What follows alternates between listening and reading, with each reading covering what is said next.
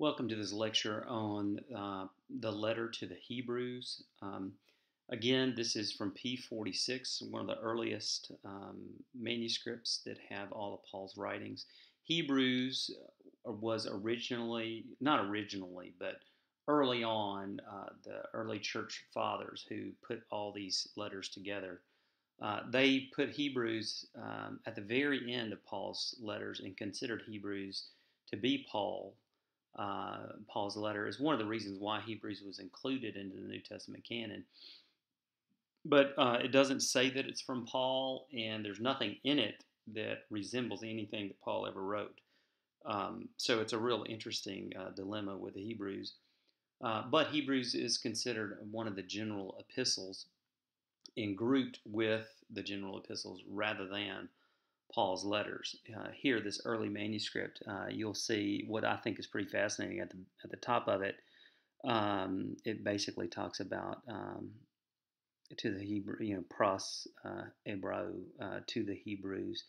Um, but you'll see kind of the to the far right, there's a darker script there. You'll see where somebody later, and this is early on still, uh, corrected some of the the the words there. So uh, that's how these early manuscripts would work.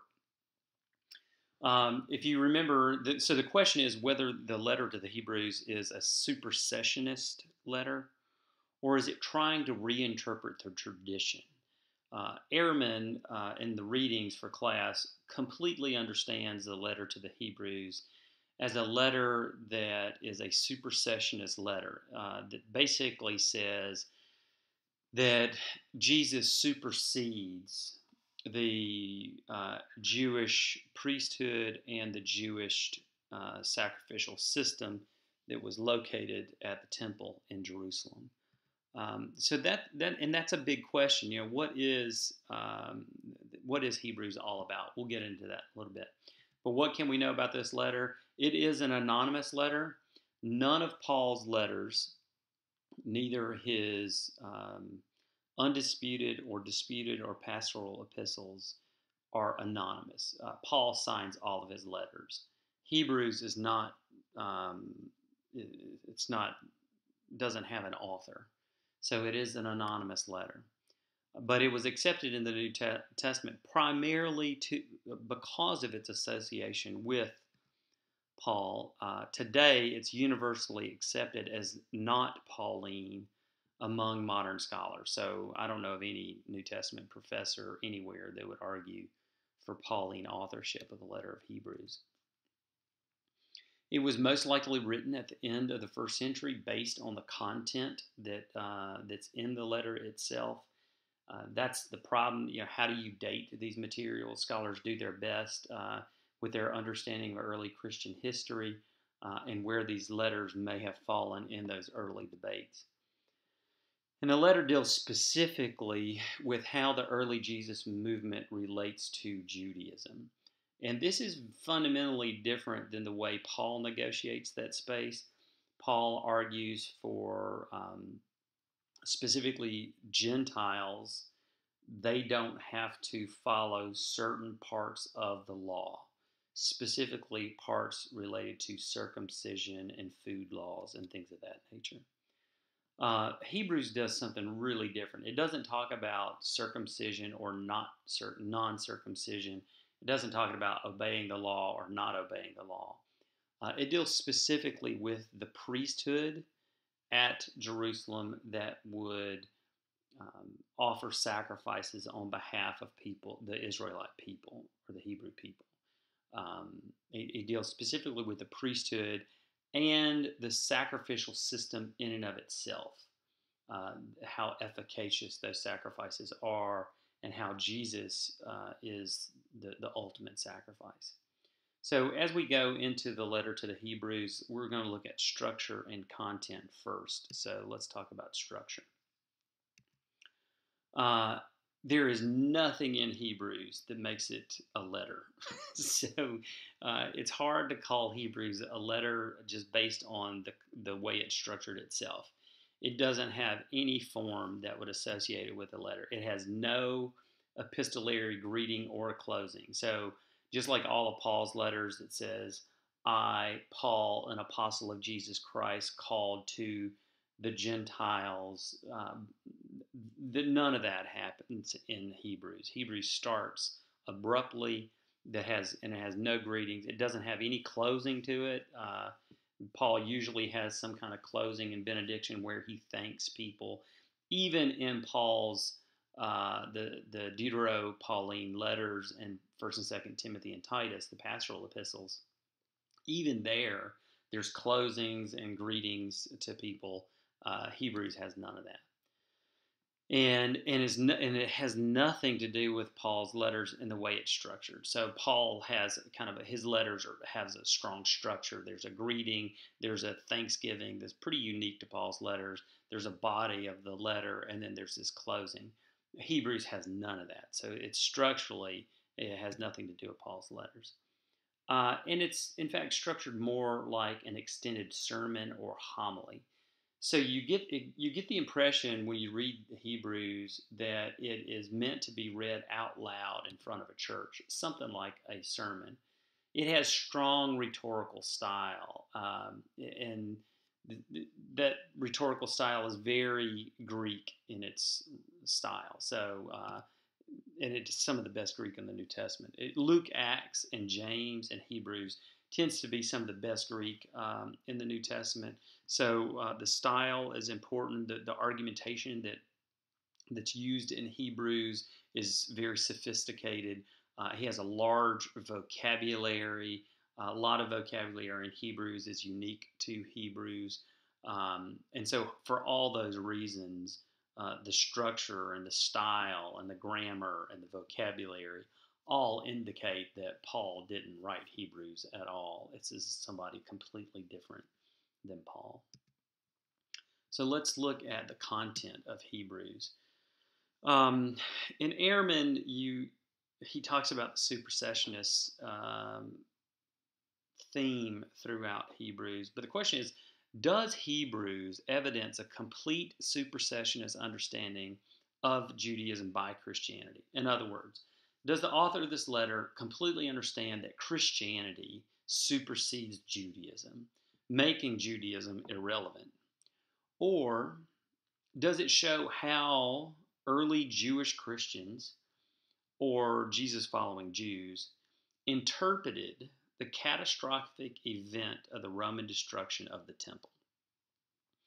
Uh, that is a major question uh, for me. Uh, most scholars uh, in the New Testament aren't really kind of dealing with that, but um, that is uh, the way I see the issue. That's at least that's how I'm framing the issue of how to understand the letter to the Hebrews. and and Ehrman, if you read Ehrman, and, and, I shouldn't say if you read, when you read Ehrman, you already kind of see this. Um, supersessionist interpretations understand the writer of Hebrews as one who is deeply familiar with the Jewish priesthood and the sacrificial system in Jerusalem at the temple. Uh, and this writer tried to show how the priesthood and the temple cult was completely superseded by Christianity. So Christianity replaces Judaism through Jesus' life, death, and resurrection.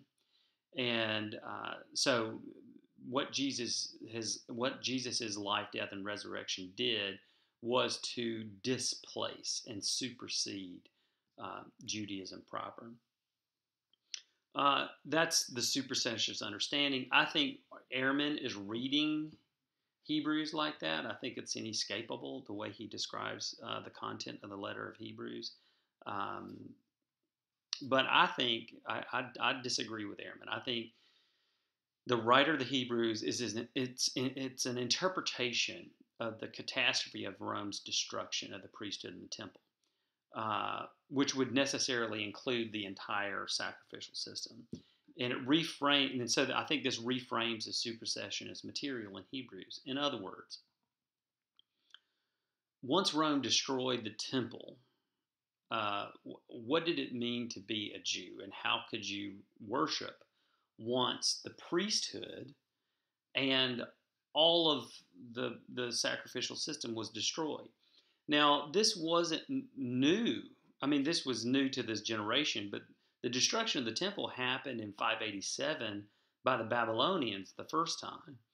And when Babylon came and destroyed the temple, just like the Romans did in 70, they uh, the Babylonians took the aristocracy, the the leader, the, the the royalty, and the priesthood, and they took them to exile in Babylon. Uh, and there in Babylon, without a temple and without priests to sacrifice uh, offerings on behalf of the people, uh, they were left with like, what do you do?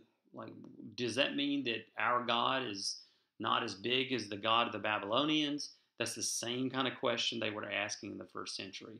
When the Rome destroyed the temple, does that mean that, that our God is not as big as the gods of the Romans? Um, does that mean that uh, our, our whole religion is destroyed and we don't have a way to worship anymore? Well, the turn in ancient uh, Babylon was away from the temple to the text. So the Babylonians basically said, I mean, the, Bab- the Jews who uh, faced that catastrophe under Babylonian said, okay, um, we might not have a temple, but God is still um, present, and God is God might not be present through the temple, but God is present through the text, the Bible, the Torah. So the Torah became the center of life in Babylonian exile. Um, and so there was a shift of focus from the temple cult to the Torah. Uh, and that's where scribes uh, originally became so important. Uh, the priests didn't mediate between human beings and God anymore through sacrifice. The scribes uh, were the intermediary between people um, and God through the text. So uh, that was a reinterpretation of the entire religious life of the Hebrew people. Well, here comes the destruction of the temple in 70. And, and what happens? What do you, what do, you do in, in that kind of um, context? And I think uh, Hebrews is an example of a Jewish Christian who is reinterpreting the tradition after the destruction of the temple by the Romans. So it's it's less about Christianity superseding Judaism uh, and more about how do we understand our relationship with God when the center of our religious life has been destroyed. And I think Hebrews is saying it's okay. The temple's destroyed and the priesthood has been destroyed by Rome, but it's it's going to be okay because Jesus, in his life, death, and resurrection, uh, continues to be uh, it basically continues tradition. With the absence of the priesthood, Jesus is our priest. In the absence of sacrifices, Jesus is our sacrifice. So Hebrews reinterprets the catastrophe of Roman destruction of the temple in Jerusalem through this Christological lens uh, about Jesus. So let's talk about the content uh, again some more. Uh, so my argument here, this reinterpretation of the tradition, is not about the actual content of Hebrews, and this is, uh, I think, this is important in a New Testament class. In other words, Ehrman and I are not disagreeing about what Hebrews says. We're disagreeing about why it says it. Um, and this, this, this argument is a great example of how and why we interpret interpret a text, the way we interpret it. Uh, Ehrman is interpreting it this way to basically show um, how the emergence of Christianity, and I think he he's pretty antagonistic to early Christianity. He try he says he's a historian and all that, but he's also an agnostic, a, a, a um, straight up agnostic. He says so himself, uh, which is fine. He doesn't make him less of a biblical scholar. But I do think uh, he's basically saying I'm being objective when I do this, uh, when I talk about um, this writer, because I think he has some he has an agenda by doing this. I don't think it's just objective history. He by by looking at this through that lens of supersessionist, it basically shows how early Christianity was so antagonistic to Judaism. And I don't think it was as antagonistic as he is purporting here. I think there was a lot of crossover. Um, but he and I totally disagree with each other on why Hebrews was written. And it shows that there are always multiple ways to understand the content of a biblical writing. In other words, am I right or is Ehrman right? Or is this two ways of seeing the same thing? Uh, as you participate in ministry, as you are preachers and teachers in your congregations, this will be incredibly important for you uh, in everyday life uh, in the ministry of the gospel of Jesus Christ. You are there to kind of propose interpretations to help the life of a community. Uh, and I think it's always important to realize that your your interpretation, your view, is one view among many. And once you accept that, it gives you the capacity to dialogue with others with whom you disagree. And, and in the disagreement, you can learn a lot about what you're talking about or what you're disagreeing about. And uh, I think that's important as we read the biblical text. Um, so, in the end, my question is who benefits from our interpretation and who does not? And those are ethical questions. Um, these are this is an ethical question related to how and why we use and interpret the Bible the way we do. Uh, so I think the way Ehrman translation uh, deals with Hebrews uh, is showing a, a, strong antagonistic towards early Judaism, um, and so it has what are the re- what are the repercussions of that kind of interpretation for today? Um, I think Ehrman is basically saying, see, they didn't like each other way back then, uh, and in my thing, the way I'm interpreting it is like I, I, I don't think it shows that they disagree with each other. I think this is a struggling community that is facing a catastrophe and doing the best they can by reinterpreting the tradition, just like Jews did it in Babylon. So instead of thinking there's some any kind of super, supersession here, I think it's uh, uh, a, a, an interpretation that's trying to help console a struggling community. Now that ha- so what, what do you do with that today? I think that is much more helpful today uh, than the way Ehrman builds his argument. But um, you know, his argument is just as valid as mine. Um, it just begs a question: What are we going to do with our interpretations? Why do we interpret things the way we interpret it? Who wins and who loses? Um, those, I think, those kind of ethical questions are, are always important for pastors to answer. Um, and and and not just answer, but uh, these are the kind of questions I think uh, pastors need to struggle with as they provide uh, guidance for Christian communities around the world.